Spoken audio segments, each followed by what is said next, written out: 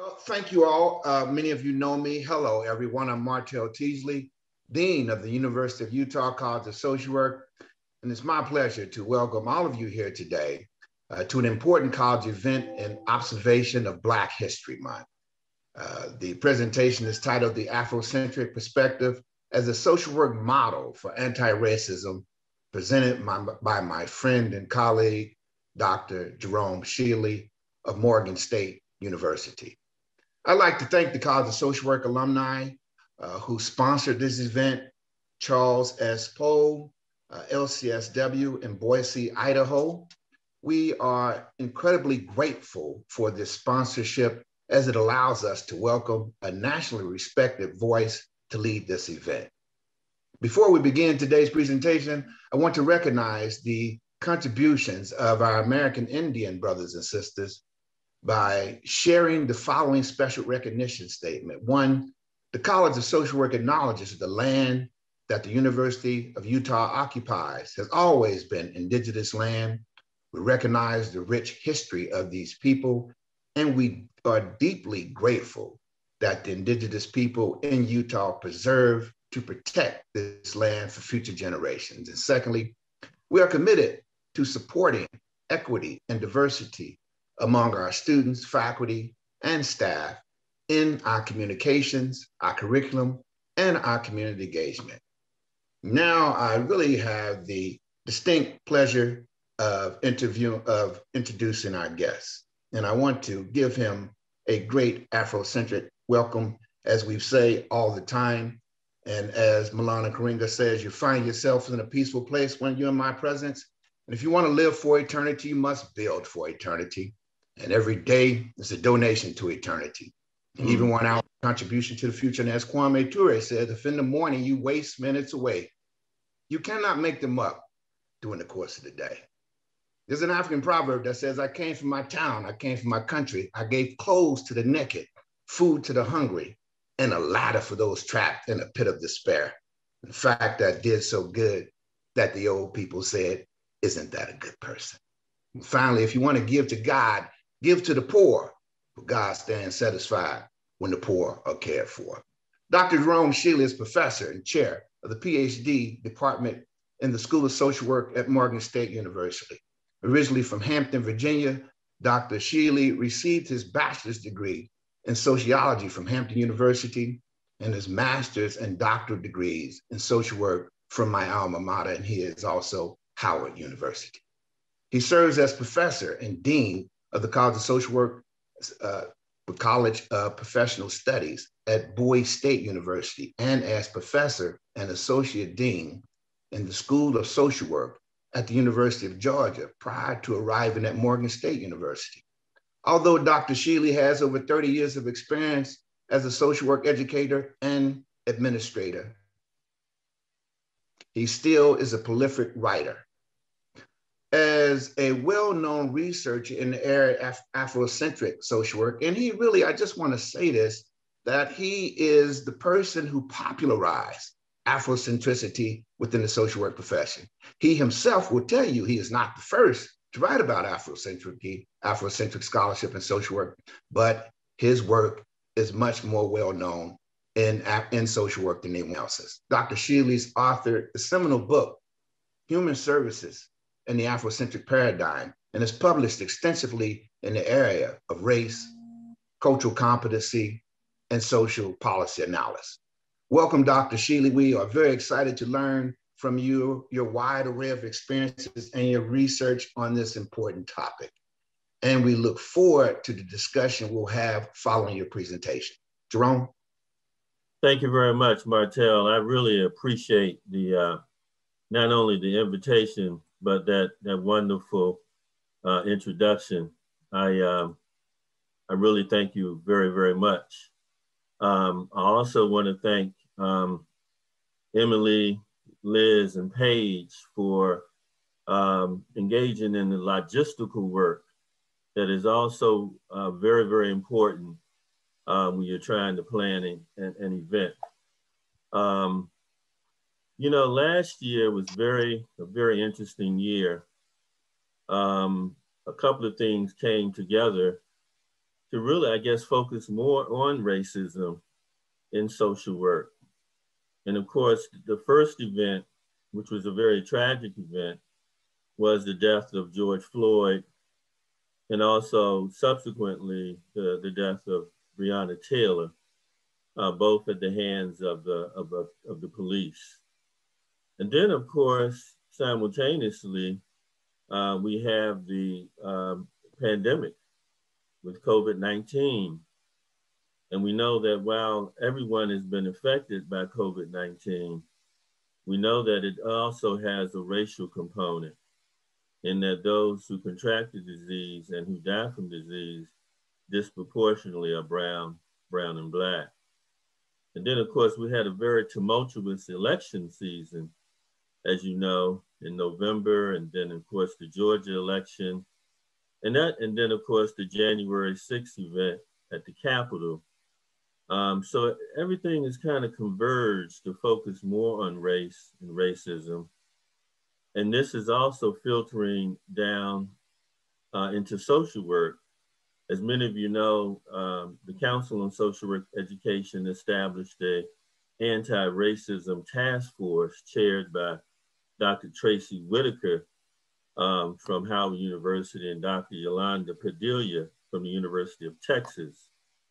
And, and they had, they, uh, under that task force were four work groups or working groups. Uh, I think Dr. Bathford chaired one of the working groups. And so uh, they came out with some recommendations about anti-racism um, and uh, really some very, I would say, very progressive uh, uh, recommendations. And so we'll talk about some too later on. But anyway, um, I just wanted to uh, thank everyone and, and I hope everyone's family is well during this very, very tragic crisis that we are enduring today. Um, presentations learning objectives.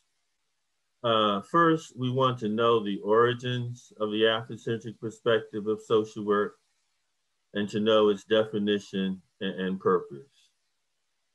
Secondly, we want to know the core themes uh, or assumptions of the Afrocentric perspective.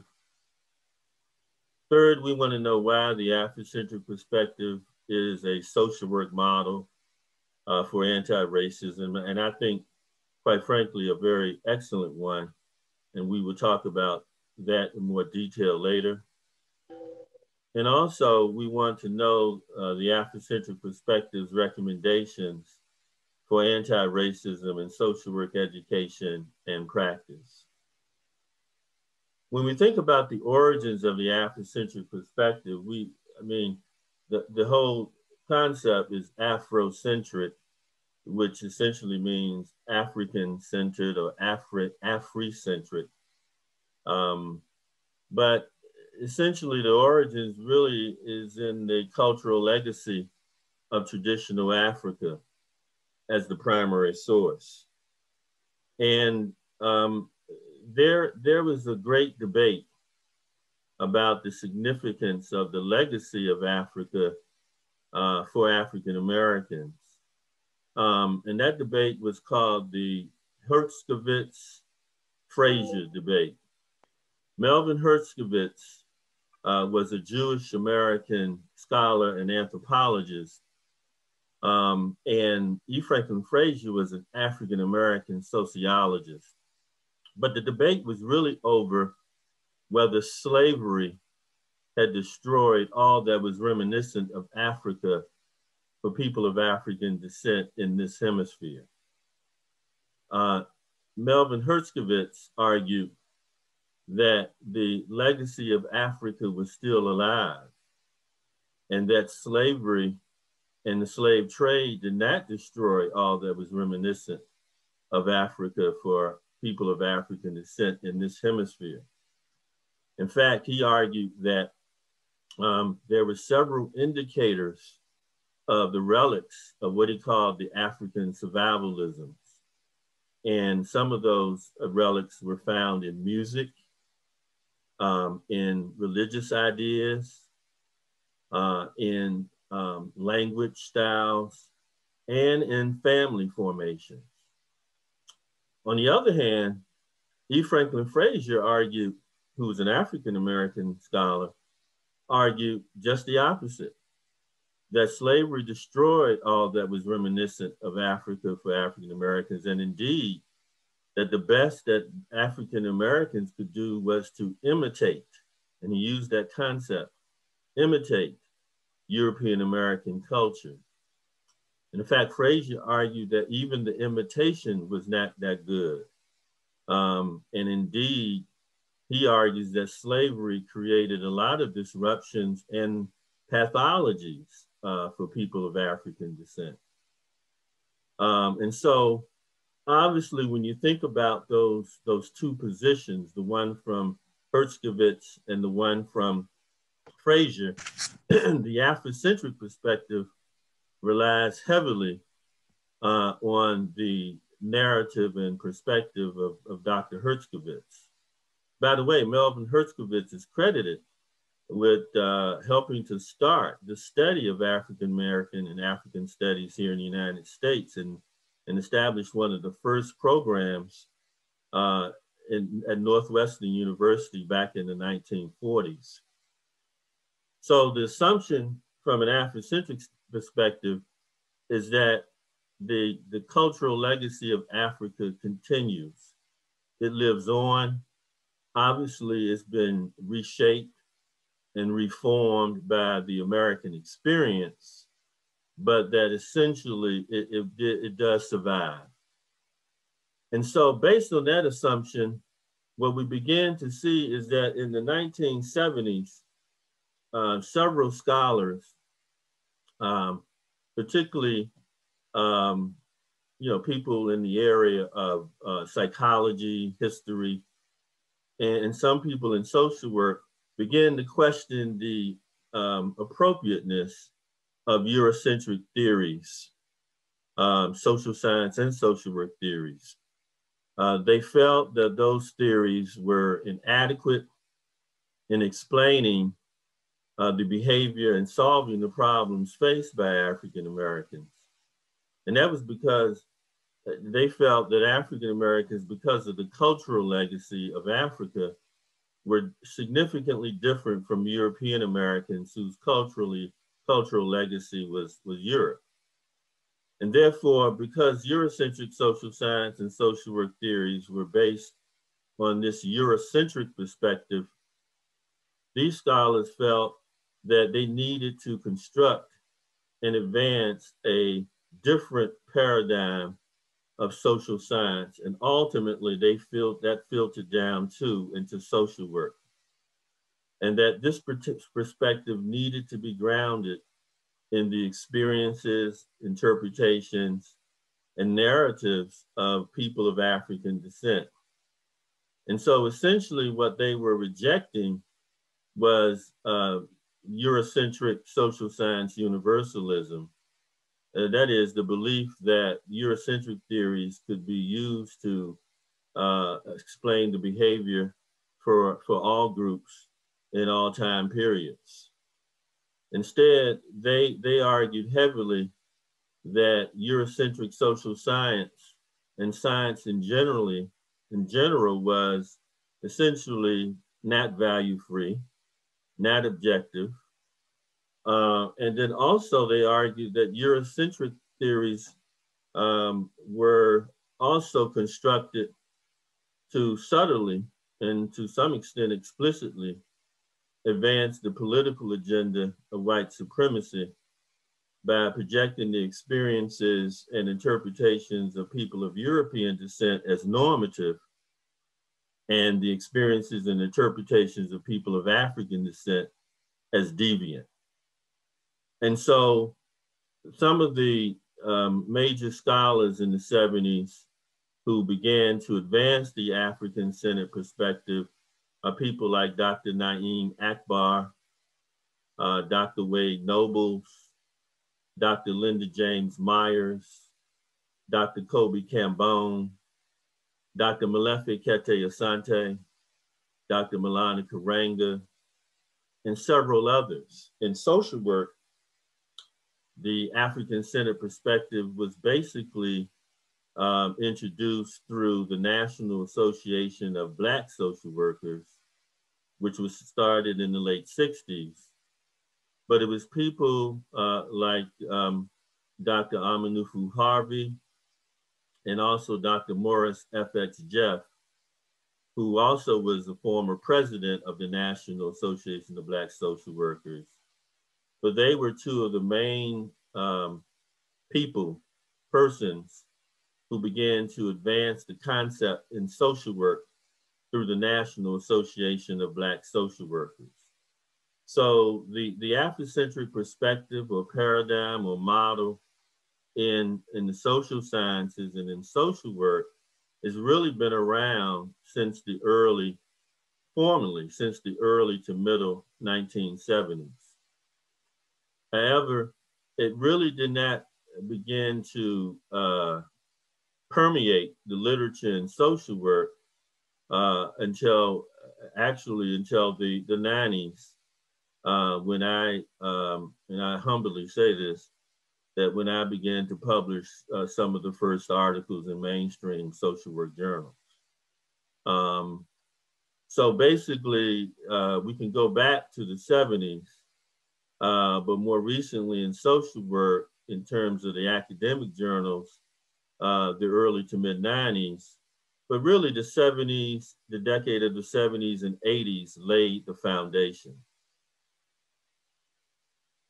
So let's define Afrocentric social work. Um, Afrocentric social work is a practice-based model that uses the common cultural experiences, values, and interpretations of people of African descent as a foundation or center for helping and healing. And, and this notion of, of centeredness really comes from Molefi Asante's work on Afrocentricity. And he argues that as we think about um, theories and social science and, and academia, that, that we have to think about centering the experiences and interpretations of the oppressed. Uh, and that it's very important to understand that just as other people have developed theories based on centering uh, their experiences and interpretations, uh, so could we. Indeed, George Homans, who uh, established exchange theory, not only did he not uh, establish the theory uh, based on people, uh, he established his theory based on observations of pigeons in, in Central Park in New York. So that I thought that that was a very interesting thing. So the point is, is that if George Homans can develop uh, exchange theory based on the observations of pigeons, then certainly uh, people of African descent can base their theory and paradigm on their own experiences and interpretations. The Afrocentric social work perspective uses these shared cultural experiences, values, and interpretations as ways to address not only the specific social problems of people of African descent, but also the problems confronted by all people, regardless of their racial and ethnic identity. Oftentimes, the Afrocentric perspective is, is thought of as just only being for Black people, but that is totally false. The Afrocentric perspective definitely is particularistic in that it does speak to the cultural liberation needs of people of African descent. But as we will learn later, some of its core features also are very beneficial for bringing about social, positive social change and human transformation for all people. Therefore, there's a universalistic perspective too of the Afrocentric perspective that we need to acknowledge and advance. Um, finally, Afrocentric social work relies on both micro and macro interventions and is very, very consistent with social work's person's person and environment framework. In fact, we will talk later how that why that's so, because the environment and the collective conceptualization of self is so critical from an Afrocentric point of, of view. So let's look at some of the core themes or assumptions of the Afrocentric perspective. Um, one of the first assumptions is that the Afrocentric perspective definitely acknowledges the within group differences uh, among people of African descent and, and among particularly African Americans. But it also argues that that African Americans represent a kind of socio-cultural uniqueness. And therefore, oftentimes we say that, that African Americans are distinctive, but not monolithic. Um, but it's that distinctive piece that we really want to highlight. And Wade Nobles, who's one of the uh, founders of, of the modern day Afrocentric movement, uh, argues that our African root and American fruit, African and American fruit. And he uses this metaphor um, to really describe the cultural uniqueness, the sociocultural uniqueness of people of African descent. Now, the root part of that metaphor represents the cultural legacy of traditional Africa. That, of course, because of the work of Melvin Herskovits and others, uh, is assumed to have survived American slavery and that continues to guide much of the uh, uh, African American culture today and its variations. But the but the fruit part is, acknowledges how the terror and trauma of American slavery continue to shape African American experiences, interpretations, and culture. And that includes the uh, experience of racial discrimination in our institutions, um, and other forms of inequality like COVID-19, for example, the, the racial disparities that we see there. And so that also shapes the sociocultural reality of people of African descent. And in fact, um, some people have suggested that not only African Americans, but others, but particularly African Americans are suffering from a kind of post-traumatic slave disorder. That is, that although the event, just like in post traumatic stress, although the event may have ended years ago, the stress associated with it with that event is still very live and relevant for the individual and the people who experience that stress, that stress, and and that that stress can be passed on intergenerationally. And I think that's the point to, to realize. So essentially, the African root American fruit metaphor explains or describes the sociocultural uniqueness of African Americans. That's the first assumption. The second assumption is that the Afrocentric perspective underscores the importance of a collective concept of human identity and need. And this is reflected in the, the Bantu or Zulu concept of Ubuntu, um, which essentially literally means I am because you are. And usually goes forward and says, I am because you are, therefore I am. And, and so there's this reciprocity uh, between the individual and the broader environment. And indeed, the broader environment is very critical, uh, and the people in that environment are very critical in shaping one's human identity. And therefore, it's, it's even beyond Cooley's looking glass self. It is kind of a merging of the mirror with the self.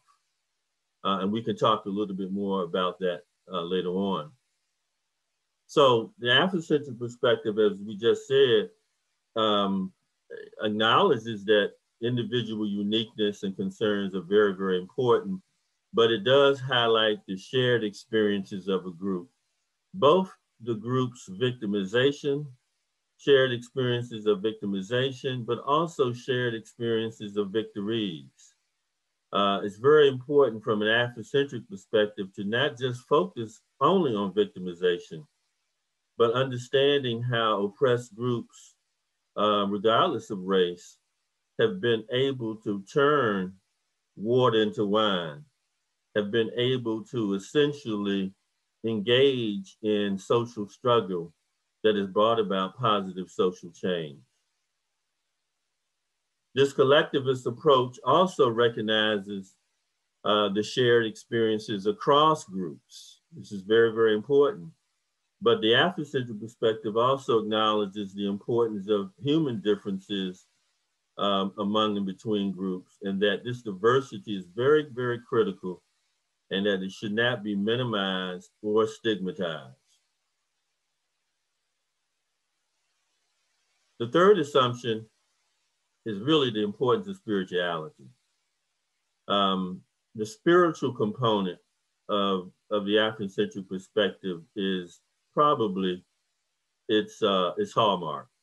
Um, and it's, it's basically essentially arguing that uh, it's really kind of opposing uh, the kind of materialistic view uh, of of human beings that we see in traditional Eurocentric theories. I mean, obviously, there's some variation there. We can talk about Carl Jung's the, the collective unconscious. And by the way, Carl Jung also studied in Africa. That's very important. And as you all know, those of you of the psychodynamic approach, you understand that one of the reasons that Carl Jung was kicked out of the psychoanalytic circle of Vienna was because of his, quote, obsession with spirituality.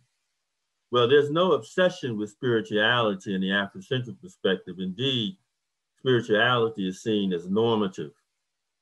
And therefore, it's very important to highlight the more enduring and substantive reality of the unseen, which also focuses on the emphasis of the interconnectedness of all people. Um, spiritual, the spiritual reality says that we are all connected and that we all should essentially, because we connected, we should behave in ways that reinforce the ethic and the ethos of caring and sharing. And this should govern our behavior towards one another. Indeed, the spiritual component is, really, uh, as I said before, probably the most critical of the Afrocentric perspective but as it relates to the Afrocentric perspective as an anti-racist model for social work, then we have to look at this fourth assumption. The Afrocentric perspective considers white supremacy as the primary reason for racial inequality and its resultant problems. Um, the Afrocentric perspective sees, views white supremacy as a ubiquitous source of social injustice. Now let's just pause here for a moment. The Afrocentric perspective does recognize other forms of racism, um, no doubt.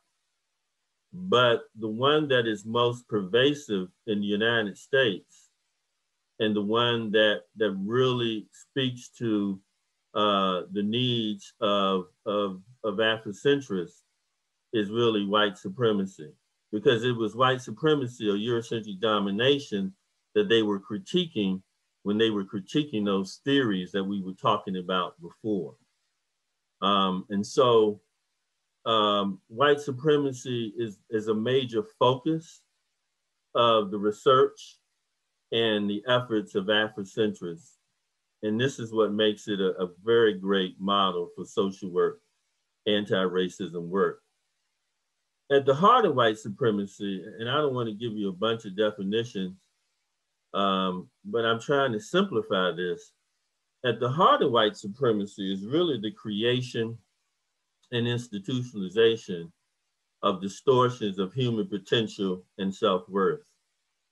And essentially what these distortions do is that they racialize, they're racialized and they promote the idea that essentially people of European descent or white people have unlimited potential and self-worth because they are considered to be superior, inherently superior, while people of color, uh, in this case, um, African Americans, are perceived as being inherently inferior with little or no potential, or at least the potential is not equal to the potential of people of European descent.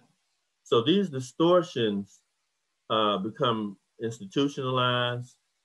And then, of course, we have to talk about um, how they're manifested both externally and internally.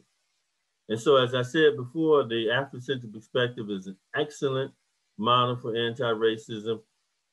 And that's because of its focus on, on white supremacy and Eurocentric domination. And indeed, if you think about the theories that are dominant in social work education today and practice, um, you, a lot of people now talk about critical race theory, but with all due respect to critical race theory, Afrocentric theory predates critical race theory in terms of its application uh, in social work. But Afrocentric theory, critical race theory, and then later on intersectionality theory uh, are really three big ones from my vantage point that, that really speak to anti-racism. And, and the Afrocentric perspective is really a great model as well. When we think about the, the white supremacy, I mean, we can we could talk about all kinds of um, uh, dimensions of white supremacy, um, but essentially, I just want to focus on uh, the ones uh, that are external and internal expressions of white supremacy, and then the overt and covert dimensions of white supremacy.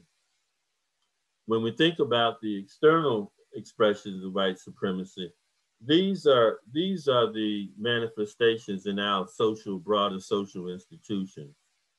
These are, found in the institution of housing, in, in employment, uh, in education, um, and in, in healthcare.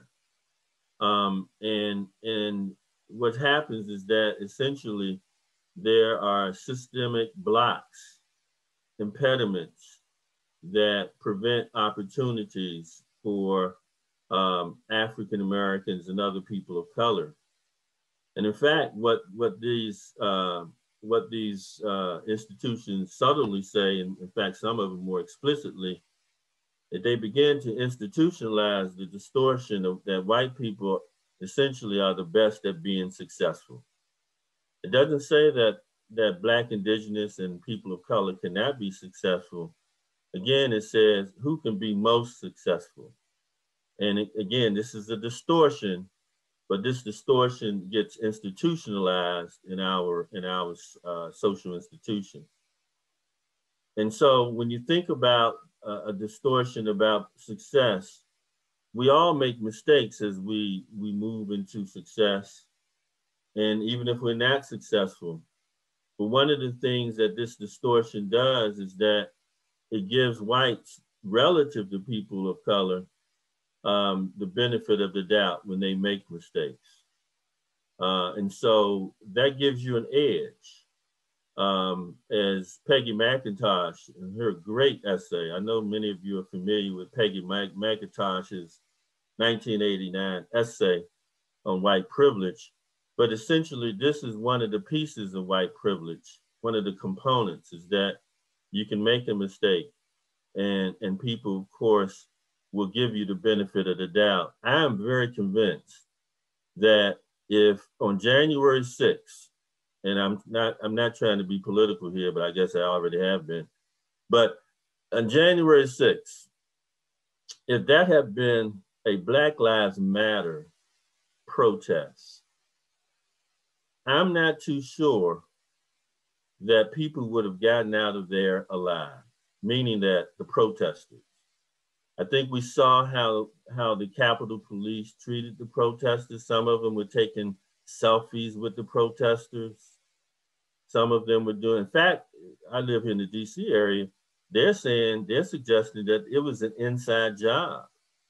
and that many of the Capitol police officers knew that this was coming. But what I'm suggesting is that even protest becomes racialized. And, and I think that there would have been a different outcome if it had been in January 6th, a Black Lives Matter protest with mostly Black African Americans or even a multiracial group. Um, I think that there would have been more shooting and quite frankly, more killings. Um, but because of the, the benefits, as, as uh, Peggy McIntosh talked about back in 1989, the privileges of, of whiteness, um, these people were given the benefit of the doubt. And, and, in fact, I think only one person, one of the protesters, was shot and unfortunately uh, killed. So this is an example of what we're talking about here. Um, we also need to look at and focus on the internal expressions of white supremacy. And of course, those are um, the expressions that are found in our in our minds, in our psyches, um, that that create these mental distortions. And from an Afrocentric perspective, these distortions of superiority and inferiority can be conscious or unconscious, but essentially they can be internalized. And, and obviously both are dehumanizing, but, but there is a political advantage for those who believe that they are racially superior, right? There's a political advantage there. Um, but, but psychological distortions of superiority are just as damaging as psychological distortions of inferiority. Um, and so it's very important for us to, to focus on that. A big part of the Afrocentric thrust is really to focus on the internalized white supremacy or racism of Black people. That is the degree to which African Americans are engaged in a kind of self-degradation, uh, a kind of self-embarrassment, um, a kind of self-alienation, a racial alienation of, of uh, and ultimately some of the psychologies even suggest racial self-hatred. And so internalized racism can be very, very devastating, both on the superiority side, as Peggy McIntosh talked about in that great essay, but also on the inferiority side as well we also need to look at the both the overt and covert dimensions of, of white supremacy and and how those uh, distortions are manifested. Obviously, the overt dimensions are very explicit, and and the covert dimensions, of course, conceal and cloak. I grew up on at the tail end of segregation in Virginia, and I can tell you that I didn't experience any kind of covert white supremacy. I experienced straight up, explicit, overt white supremacy. Um, my father was a Baptist minister and pastor and activist in the city. And the mayor and the police chief would get on the radio and TV and, and call us the N words uh, and, and refer to my father and the other ministers in that way um, uh, as we walked to school in, in the morning we had to go through white neighborhoods. And that's where i learned how to fight. I learned how to fist fight um, because we had to go through we had to walk through the white neighborhoods to get to the schools and they would be calling us n-words and coons and we would fight back to get to school and so we still have some of those overt forms of racism today. Um, we see an uptick uh, in some of that um, with um, some of the groups that you're familiar with. Uh, I regularly check out the websites of some of the more overtly uh, uh white supremacist groups, such as the Proud Boys, the Oath Keepers, the new neo Nazis, the new Confederates, um, and they all are very explicit in their concern about the demographic changes in America, they believe that they feel that the browning of America is a threat, um, not only to the political and economic power of white America, but also it's an existential threat. Um, they believe that this is about um, biological and physical survival. And so these overt dimensions of the distortions of superiority uh, are very, very, very, very dangerous. Um, but, but just as dangerous, but yet very insidious, are these very covert dimensions of white supremacy and the distortions of superiority and inferiority. And, and these are the ones that are more difficult to identify. Um, and, and, because everything is so concealed. And so I, I'm I'm not trying to downplay the Proud Boys and the oath on the oath keepers. I think they're very dangerous, but but also just as dangerous could be the internalized white supremacy of Bernie Sanders, uh, the internalized white supremacy of Nancy Pelosi. Um, and, and again, when we look at white supremacy from an Afrocentric perspective, it is not compartmentalized. Uh, white supremacy from an Afrocentric point of view is very organic.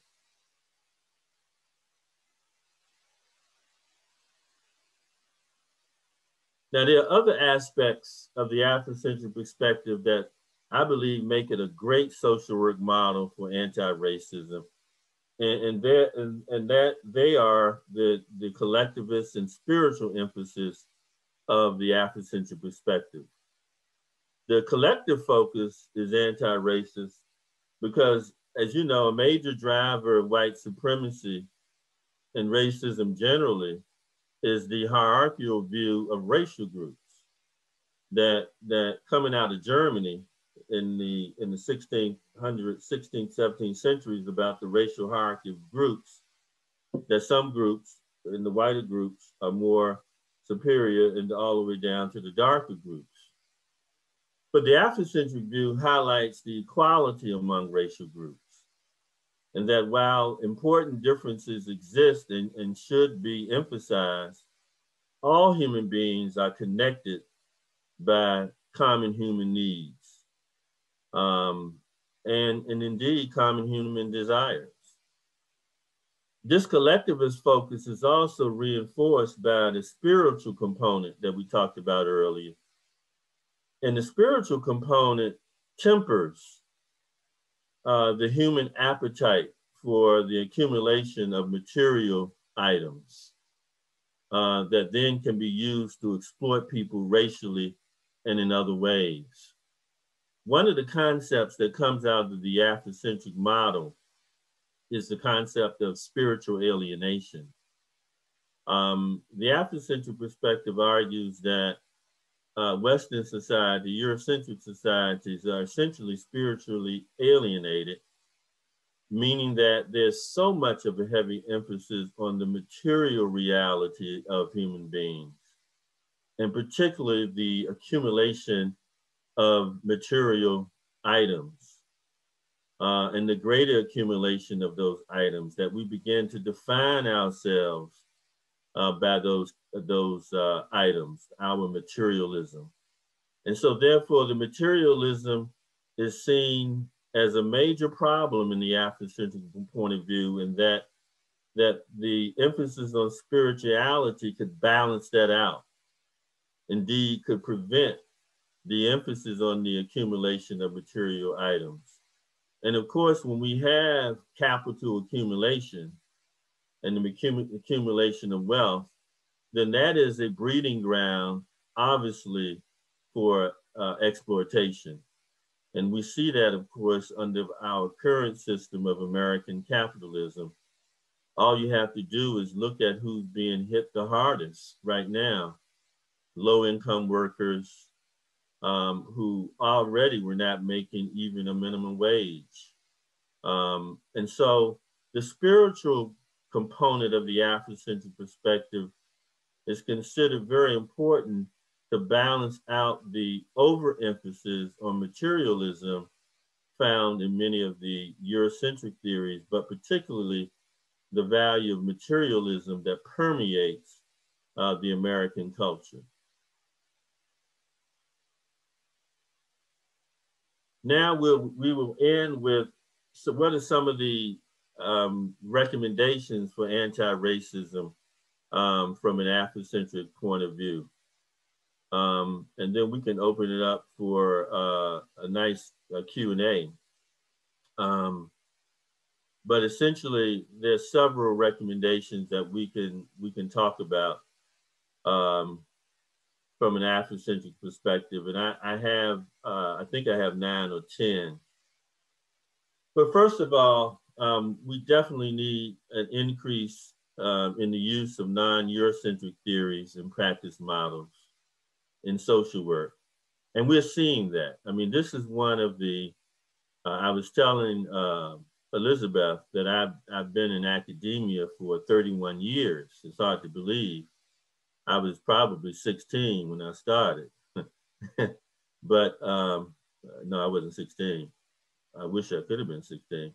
But anyway, the bottom line is that I've seen a major, major change in the uh, diversification of theoretical models in social work.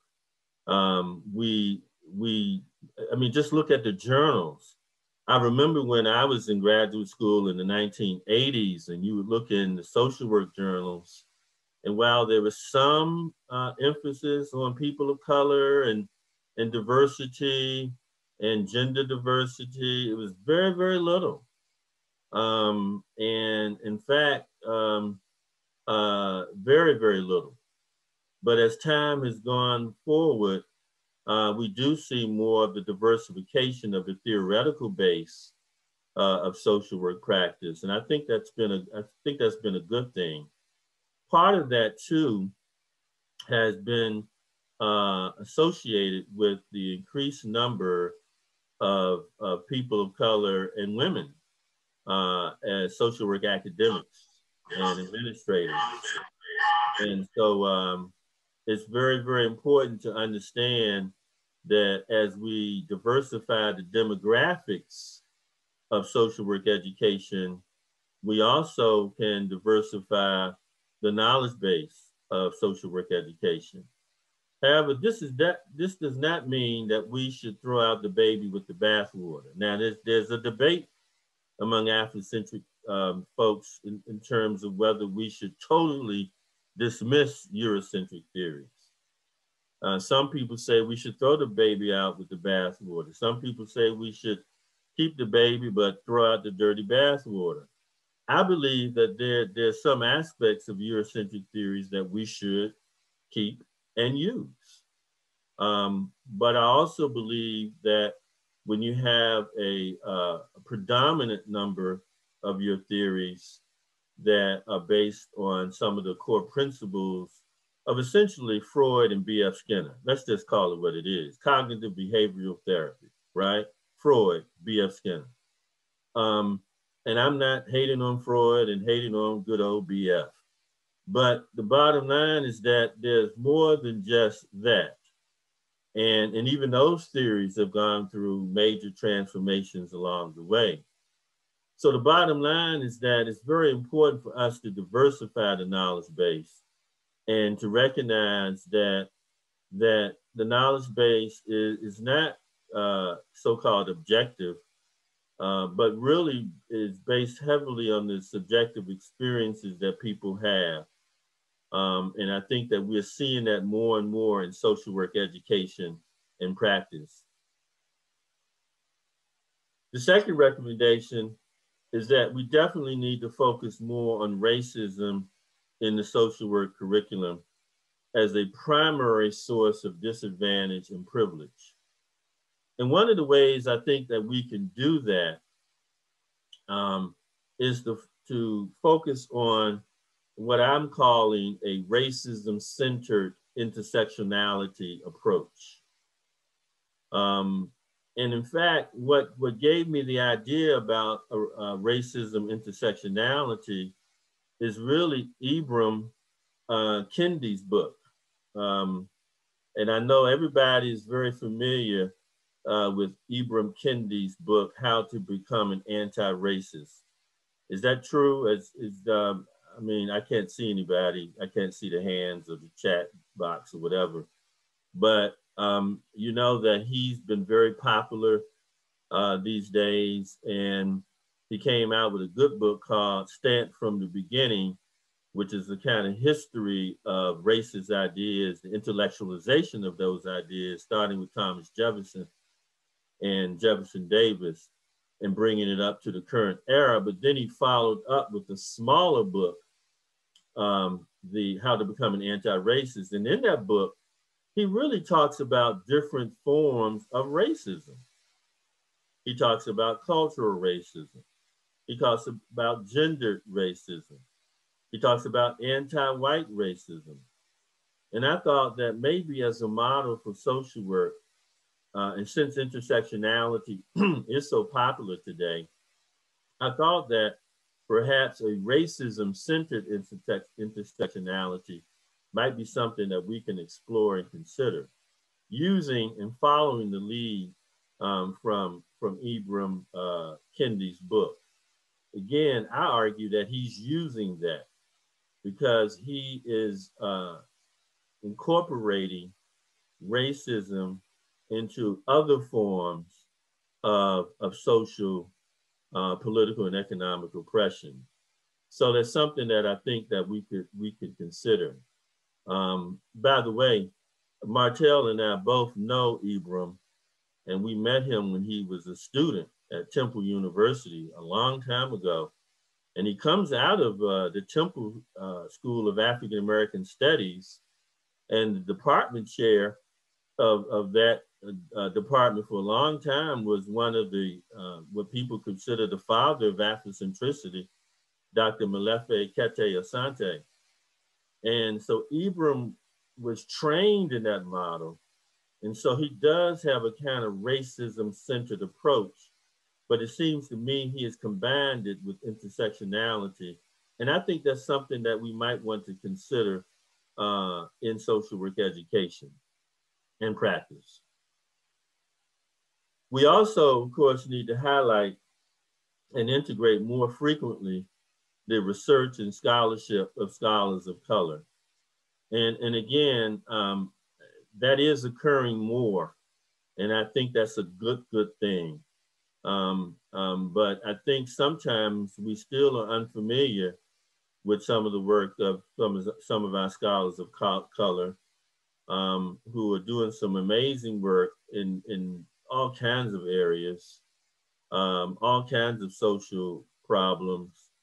Um, but I, I, do think we need to highlight that more in the curriculum. Um, we have uh, a lot of scholars who, who've uh, written in the area of the history of, of, social work and the evolution of the social work profession, um, but other areas as well. So I think that's a recommendation that we should consider. Other recommendations, um, and we, we kind of indicated this earlier that we need to hire, we need to hire, uh, and I think, I'm sorry, I think I misspelled hiring, but please forgive me, more uh, Black, Indigenous people of color. Uh, we need to uh, hire them more as social work educators, administrators, and practitioners. Um, and, and that becomes very, very important as well.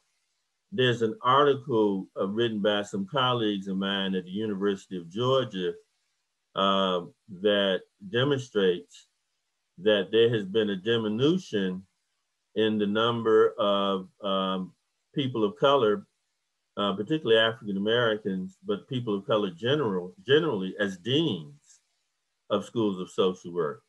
So Martell is really uh, very much an outlier these days. Um, and, and some people are very concerned about that. But I think that if we, if we um, diversify the leadership in social work education, then, then clearly that can have a, a major impact on uh, advancing the agenda of anti-racism. We also need to do this with social work educators and practitioners. Um, we need to we think about how to diversify the student body in social work doctoral programs, because obviously it's from those doctoral programs that we uh, will have and recruit the future um, professorate in social work. Uh, in fact, GADE, I'm a member of GADE, uh, is now engaging in um, uh, making some changes um, in terms of its quality guidelines. Um, and in fact, there's a survey out right now um, about that. So we, we definitely need to continue to diversify. Uh, the diversification does help in terms of diversifying the knowledge base, but also I think because of the experiences that uh, Black, Indigenous, and people of color have, they bring those experiences into um, practice, into the classroom, and into administration. We need to identify and create more practicum sites that focus on the systemic and internalized effects of racism. And I know if the practicum director is on the call, I know she or he wants to shoot me, I'm sure. Because that's one of the hardest jobs in social work education is being a director of field education. But I do think we need to try to identify more of these sites um, that focus more on racism. I'm not suggesting that racism is not a relevant factor in, in probably all practicum sites, but there are some sites that maybe focus more on racism. And I think we should identify those and try to um, place our BSW and MSW students in those, in those field placements. We also need to focus more on policy practice. And as C. Wright Mills, the great sociologist says, and the link between personal problems and public issues. Um, we definitely need to focus more on policy um, and, and particularly the role uh, of the broader political economy of white supremacy. Um, you know, social policy has its limitations, but it also has many, many benefits. Just think if we didn't have the Voting Rights Act of 1965. Just think if we didn't have the Civil Rights Act of 1964. Just think if we didn't have the Higher Education Act of 1965, which created the Pell Grant system. And according to some of the recent data, roughly about 50 to 60% of students today are receiving some kind of federal financial aid. That means that if we didn't have the Pell Grant system, uh, we would have a, a large number of people in school and of course becoming educated. Where would we be if we didn't have Medicaid and Medicare, right? Where would we be if we didn't have Social Security, um, the Social Security Act? Um, and so it's very important for us to focus on the broader political economy of, of everything but in this case, white, white supremacy. We do need a racial profiling law. Uh, there's a new bill that's being introduced by Representative Bass entitled the George Floyd uh, Racial Profiling Law, uh, a bill. Um, and she's trying to get that passed. I don't want to pick on the police because I know I know police officers, um, and but there's a lot of that uh, you know, a lot of systemic racism in law enforcement. And of course, people are very concerned now about the infiltration of white supremacy groups, uh, extreme white supremacy groups in, in the army and the military, but also in law enforcement.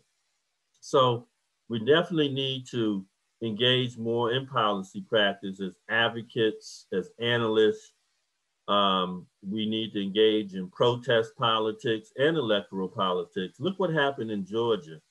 I lived in Georgia. I worked at two universities. I was an associate dean at the University of Georgia. And, and the activism there on the ground with people like Stacey Abrams and others flipped Georgia from red to blue. uh, they elected two senators, um, um, Senator Warnock and Senator Ossoff. But that took a lot of activism. We need to be engaged more in that kind of political grassroots activism. Finally, there's a big debate about whether we should focus more on race specific policies or race neutral policies. Obviously, the Afrocentric perspective uh, supports the race specific policies, but there's a lot of tension about that in social work education and in public policy circles. Those who support race neutral policies argue that race is too what? It's too, it divides us too much. It's too controversial and that you wouldn't get the support of the larger white community on, say, a federal racial profiling act, or better yet, the reparations bill that's in Congress today. Um, and then others argue in social work education and in public policy circles simply that social class is more important than race. Uh, we know that debate. That's an age old debate between race, social class, and gender. Um, but obviously, the Afrocentric perspective would focus uh, heavily on race specific policies, but not to the elimination of, of other forms of social policy development. Uh, so just keep that in mind uh, as well. Number seven, we need to advocate uh, to diversify the questions on licensing exams to include more non-Eurocentric theories and practice models. We definitely need to do this. Um, and we also uh, need to make sure that more diverse therapeutic methods uh, can be reimbursed by insurance companies. But as you know, licensing is a very political thing. As a member of the National Association of Black Social Workers in the 1980s, we were opposed to licensing. That's when the licensing movement really began to emerge. And we were opposed to it because we felt that the licensing movement was a strategy to provide yet another roadblock for people of color. And therefore, we also said that the licensing exams were culturally biased and that they were biased towards Eurocentric theories uh, I have definitely changed my mind on that now. I guess I've become more pragmatic as, as, I've gotten older. But but clearly, I mean, I'm not throwing out the baby with the bathwater, but I was back in 1985. But essentially, we need to diversify those items. And so those of you who are on licensing boards or have that kind of uh, influence, please begin to look at the ways in which we can change not only even the content of the questions in the exam, but even some of the ways in which the questions themselves are posed. Um, that would be very, very important too, uh, I think from an anti-racist point of view. Also, we need to get the licensing people to share the data as Martell is trying to, um, to uh, advocate for in NAD. They need to share the information and it needs to be transparent. Number eight, and this is a big one, we need to reduce the gap between the intellectualization of racism and the engagement and behaviors that perpetuate racism. Too often, too many of us in social work education, uh, in practice and administration, we often oppose racism verbally but then we still behave in ways that reinforce that racism. And therefore, we have to do something about reducing and perhaps eliminating the gap between the word and the deed, between what is said and what is done. Um, there is a uh, survey, and I might be preempting here, and I hope you're is your director of the doctoral program one on the line? Um, but anyway, that GADE has been involved in some anti-racist work recently, and and I was part of that group. And and the students, the doctoral students, have organized a series of sem- of uh, seminars uh, not seminars, but a kind of group meetings uh, where they have gotten together to discuss some of the issues and challenges in doctoral social work education. And they have organized those meetings around, they've had three of them so far, those with uh, people of color only, those with non-people of color, and then they've organized the group with all students. But in the in the group with the people of color, um, there there were several the, the, the, consistent theme of the findings. Um, what the students were sharing is that too often they had professors who were scholars in the area of social justice and racial justice, but but they said that they were experiencing marginalization um, uh, from those same researchers and same scholars. Um, and they couldn't understand that. This is a theme in the, in the findings of the groups, um, that they couldn't understand that, that how can someone be so prolific and committed to the scholarship of anti-racism and the agenda of positive social change, but, but yet still engage in behaviors that they perceive as being uh, uh, racist and engage in some kind of racial marginalization. So I think GADE is going to release those findings soon. Um, but that that is um, again, it's based on the people's perceptions and experiences. But that is a that is a, a very unfortunate finding. But it speaks to that gap between the intellectual and the empirical. Finally, because of the latter, and this is one of the recommendations that came out of the task force, that we need to provide more continuing education that focuses on how social work educators, administrators, and practitioners can successfully grapple with and eliminate their internalized white supremacy and racism. We need to have more of these kinds of continuing education uh, sessions. That is a recommendation that came out of the task force. In fact, the task force is even suggesting an anti-racism commission, uh, if I'm not uh, mistaken. Um, finally, I, I, just have a few selected sources that uh, that speak to the Afrocentric point of view that I wanted to point out. This first one doc, by Dr. Na'im Akbar is very critical, very foundational. I encourage you, if you really want to know about the found the intellectual and theoretical foundation of the Afrocentric perspective, please read Dr. Na'im Akbar's Afrocentric Social Sciences for Human Liberation. It's a great, great piece. Also, Dr. Asante's Afrocentricity is another great piece, The Theory of Social Change. More recently in social work, Dr. Tricia Bent-Goodley of Howard University and the former editor-in-chief of social work and her colleagues did a nice special issue in 2017, uh, published in the Journal of Human Behavior and Social Environment. And there are about 14 articles or so. And so if you really want to um, examine some of the recent research uh, in the Afrocentric perspective and how it's applied to social work, this is a great piece here to take a look at. And then uh, if many of you are in child welfare, and so the Everett Chipungu and, and Bogart Leashore uh, book, Child Welfare Revisited, an Afrocentric perspective is also great. There are a few others too. Um, these are some, Latif and Anthony have done a nice piece here where they apply the Afrocentric perspective to youth development.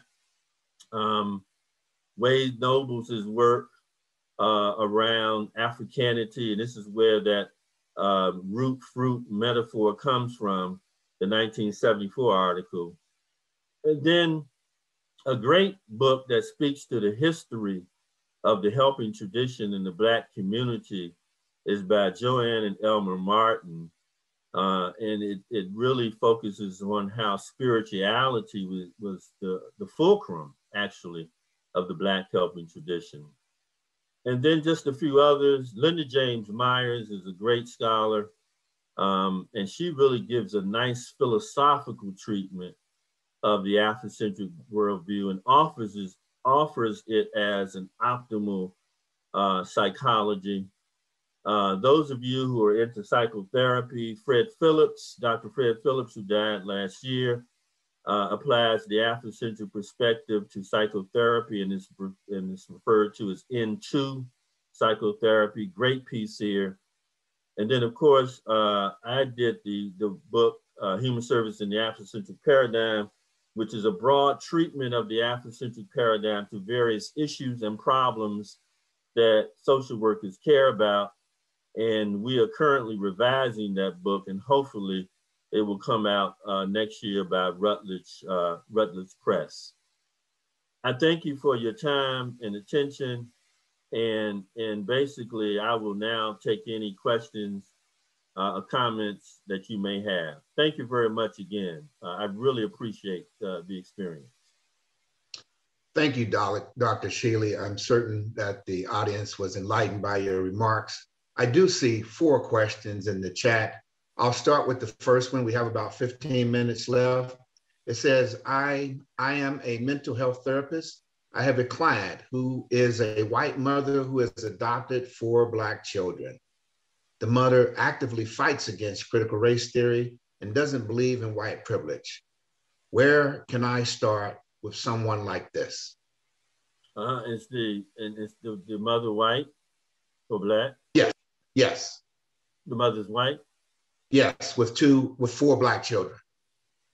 Well, I think you have to start with where the client is.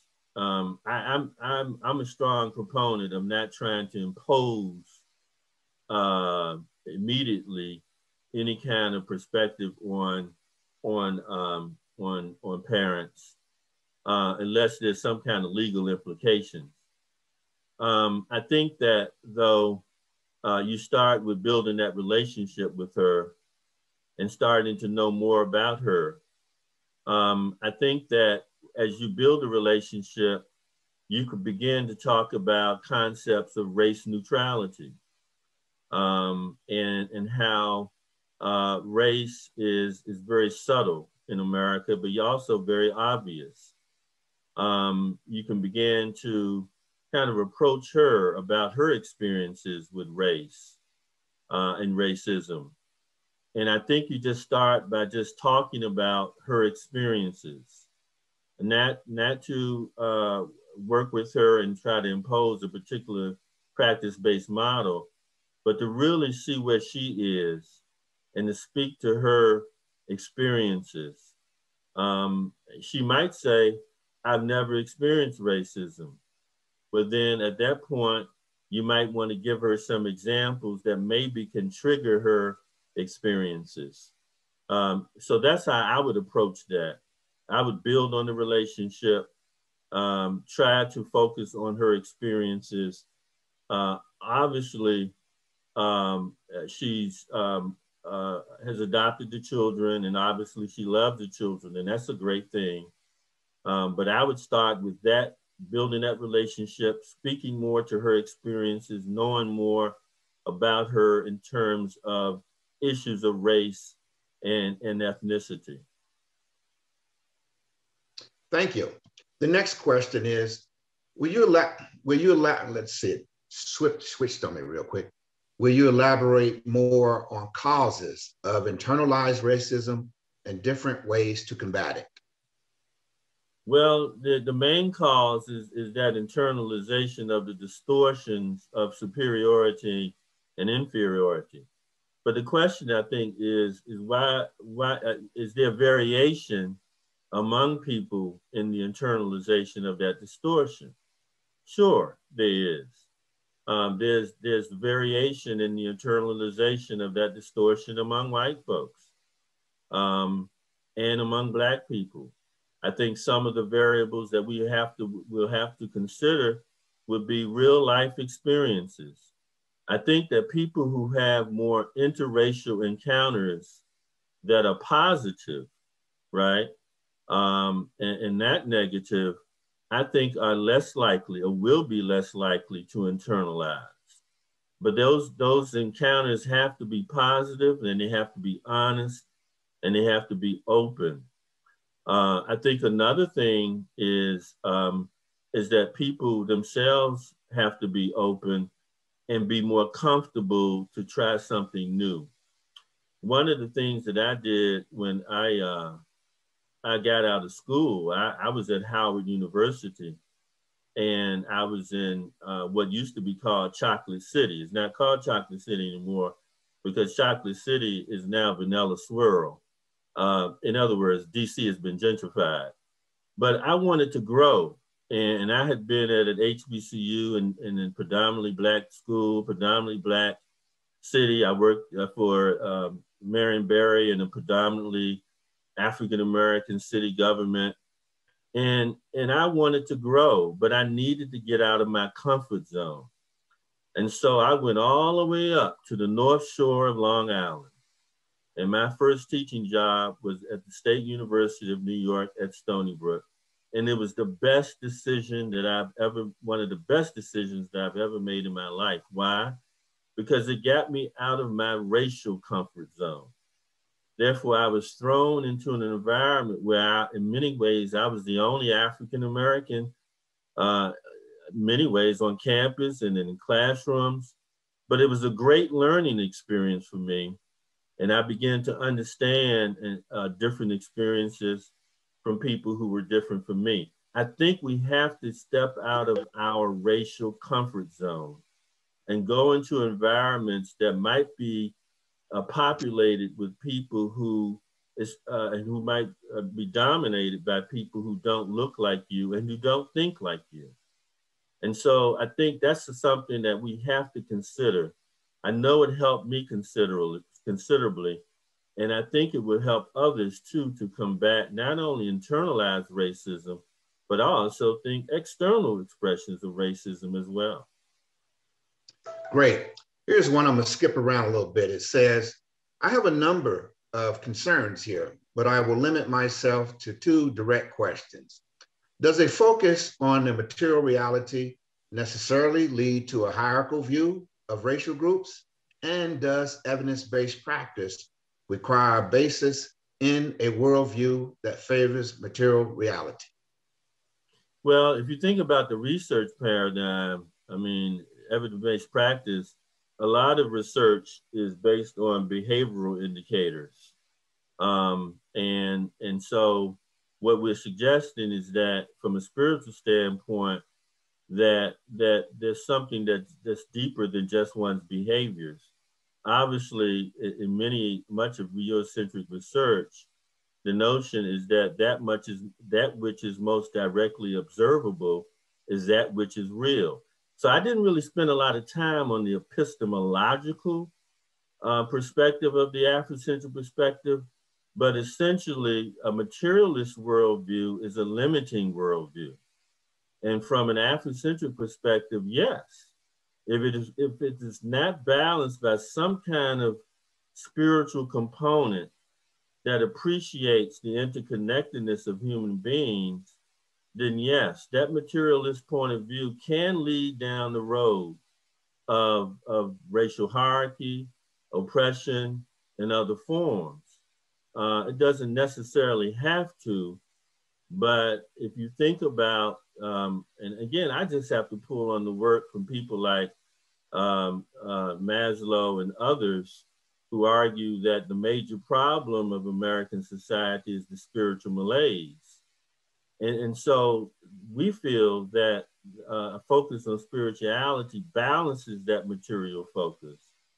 And therefore, it gets people to think more about the connectedness of human beings. It gets people to think more about uh, ideas that are more enduring and that connect people instead of ideas that are essentially about trying to gain more items and using those items to exploit people. At the basis of, of oppression is this thing of exploitation. And if you think about the, the emergence of racial hierarchies in Europe, it, it really it comes at the same time when Europe was trying to expand uh, into other areas through the slave trade. And therefore, the material expansion of Europe needed a justification. And that justification not only came from Eurocentric social science, unfortunately, it came from religious ideas as well. And so I wish we had a little more time to talk about those epistemological characteristics of the Afrocentric paradigm. Um, and I'm again, I'm not a, a, person who says we need to throw out the baby with the bathwater, but I do think we need to diversify the forms of research that we consider legitimate. I, I do believe that. And the question I would have is, what is evidence based? Is evidence that just that that which we can see? Is it is it that which is more directly observable? Um, that would be my question. Thank you. And I would actually say that uh, in terms of social sciences, uh, people may want to look at the recent apology from the American Psychiatric Association in its doings in the past and its racial ideology within its theoretical approaches to social science and psychiatry. And there is a question now should other professions, such as social work, also engage in such policies? Uh, apologies. I'm going to try to combine. And also, Martell, if you could have yeah. that person who has a lot of concerns, just to email me because I, I really would like to have a more substantive dialogue with that person. I hope they heard it. So let okay. me combine two questions in one here, uh, where someone says, and this looks a little tricky. What is an example of a current agency internship that focuses on racism. And of course, agencies don't focus on that. They focus on helping clients to solve their problems and empowering people to solve their problems. So racism may get in the way of doing that. And the other question is, what are some of the ways people still behave in ways that reinforce racism? Well, here in the in the DC area, we have several um, places that kind of focus on race. Again, you know, some of them more explicitly, others more subtly. Um, Progressive Life is one of those agencies here in the DC, Maryland area. But all I'm saying is that when we think about practicum experiences, and particularly for the MSW program, when we're talking about advanced specialization, all I'm suggesting is that that when we place someone, make sure that they have some kind of experience with diverse groups where also race and racism are discussed and examined as causative factors for the person's problem um, and not just dismissed or are secondary. That's all I'm saying. It doesn't have to say, um, uh, it doesn't have to say, oh, social work agency that focuses on racism. You know, it doesn't have to be that explicit although we have quite a few here in the DC Baltimore area, but that's because we have large numbers of African Americans here in Maryland. Um, and then the, the second question was about, um, I'm sorry, Martell, the first, Which, was the first, first part of yeah, that, I think. Yes, the second question, and let me pull that up again. Um, what are some of the ways people still behave in ways that reinforce racism? Well, um, some of the ways, I mean, there's so many ways, but you know, a big piece of research that we're seeing now is in the area of microaggressions at the micro level. Um, and so a lot of people are looking at ways in which microaggressions reinforce racism and white supremacy. Um, and, and some people argue that that occurs too in social work education and practice. Um, hiring discrimination is a way is a way that uh, that continues. It doesn't have to be explicit. Um, you know, much of racism in this country is not about racial antagonism. It's really about racial fidelity and racial nepotism. Um, and, and, so, to that extent, uh, race becomes akin to the feelings that we may have of a family um, and therefore um, people hook each other up, right? It's the hookup. Um, and, and that's why in hiring practices, you really have to make sure that you have strategies and procedures that prevent, um, you know, the kind of nepotism that can occur in any form, but in this case, we're talking about racial nepotism. So we still see that kind of that, that kind of experience in terms of hiring. We also see ways in housing discrimination. Uh, we know that people of color, uh, when they see uh, a lender, um, there is the perception um, that the loan is going to be uh, the loan is going to not uh, um, be paid on. Um, and so the bottom line is that uh, there, there's discrimination um, in the distribution of, of mortgages. Um, we can look at uh, education. We can look at healthcare. Um, we can look at uh, even the, the ways in which uh, there's some subtle forms of, of racism that occur in the language we, that we use and, the, and, and how we speak in the public square.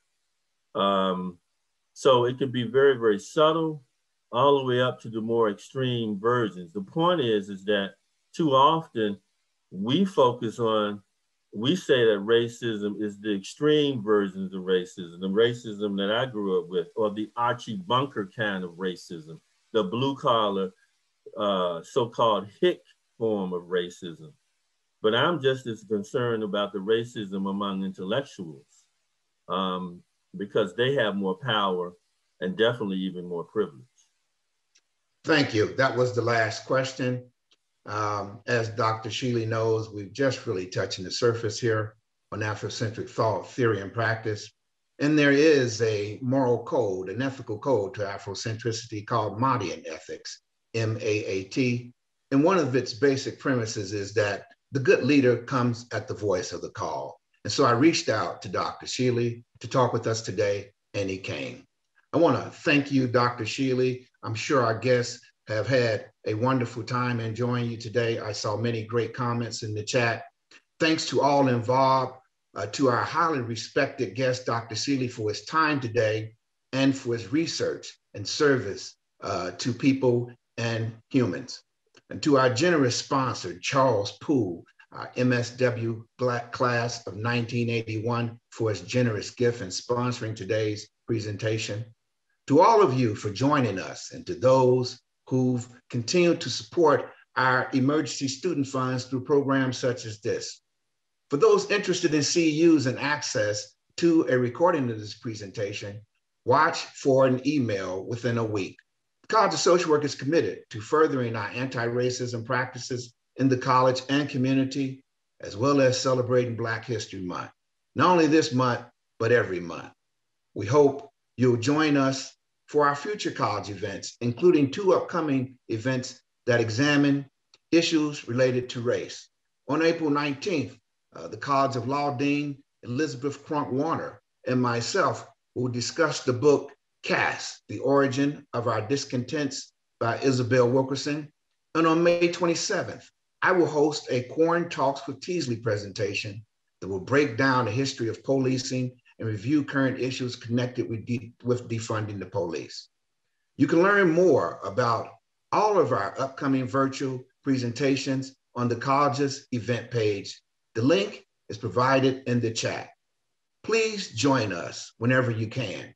Good afternoon to all. Stay safe, take care, and thank you for your time.